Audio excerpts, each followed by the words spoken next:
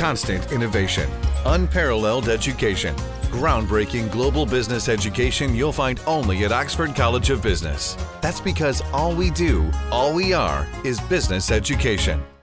තිරසර සංවර්ධන සහ වනශීවී අමාත්‍ය ගාමිණී ජයවික්‍රම පෙරේරා මහතා පත් කළ බව පැවසෙන ඒක පුද්ගල කමිටුවක වාර්තාවක් පදනම් කරගනිමින් ප්‍රසිද්ධ මාධ්‍ය කිහිපයක් මියන්මාරයේ සිට දළදා මාලිගාවට අලියෙක් ගෙනීමේ ප්‍රවෘත්තියක් අද වාර්තා කර තිබුණා. එහි දැක්වුණේ දෙදහස් හත වසරේ මෙම අලියා මෙරටට රැගෙනවිත් ඇති අතර රුපියල් කෝටි විසිහයකට අධික මුදලක් මේ සතා වෙනුවෙන් ගෙවා ඇති බවයි.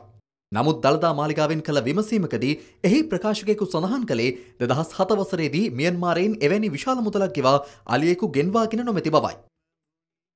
මෙම අලිය සම්බන්ධයෙන් තොරතුරු කරලියට පැමිණෙන්නේ දෙවේනේ අලියතුන් ලියාපදිංචි කිරීම සහ වාර්ෂික බලපත්‍ර නිකුත් කිරීමේදී සිදුවූයයි කියන අක්‍රමිකතා සෙවීමට දෙදහස් පහළවෙදී පත් කෙරෙන කමිටුවක තොරතුරු මත පදනම් වයි.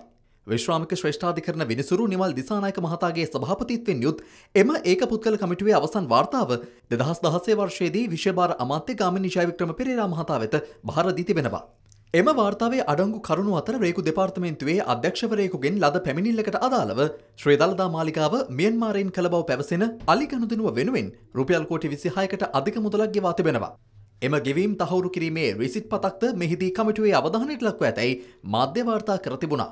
නමුත් කමිටුව වැඩිදුරටත් පවසන්නේ අලියාගේ සැබෑ වටිනාකම රුපියල් විසිපන් කෝටි පහළොස් ලක්ෂ අනු එක්දහස් පන්සියක මුදලක් බවයි. ජාත්‍යන්තර වෙළඳ පොලේ අලියෙකු වෙනුවෙන් පවතින සාමාන්‍ය වටිනාකම රුපියල් කෝටියත් කෝටි එක මාරත් වැනි මුදලක් බව පවසනීම කමිටුව මෙය වංචාවක් බවට නිගමනය කරන අතර මීට වගකිවියුත්තන්ට පරීක්ෂණයක් සිදු කර දඩුවම් ලබාදන ලෙසද විශේභාර අමාත්‍යවරයාට නිර්දේශ කර තිබුණා. මේ සම්බන්ධෙන් අප ශ්‍රී දල්දා මාලිගාවෙන් කළ විමසීමකදී එහි ප්‍රකාශකයෙකු පැවසුවේ දෙදහස් හත වර්ෂයේ මියන්මාරයේ සිට මාලිගාවට අලියෙකු මිලදී ගෙන නොමැති බවයි.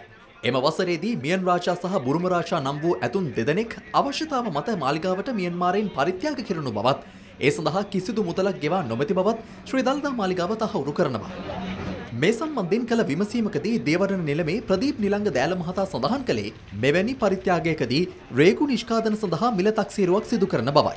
ලෝකයේ ජාත්‍යන්තර සම්මුතිය අනුව සයිතිස් නීතිය අනුව රටකින් රටකට ප්‍රාන්තිකෙන් ප්‍රාන්තයකට සත්තු උද්‍යානයකින් සත්තු උද්‍යානයකට අලියතුන් හුවමාරු කර ගැනීමක් හෝ පරිත්‍යාගයක් වශයෙන් තමයි අලියතුන් ලබා දිය හැක්කේ. ඒ අනුව මනාව පිළිමුග වෙනවා මේ සඳහා ගනුදෙනුවක් කළ නොහැකි වගේ.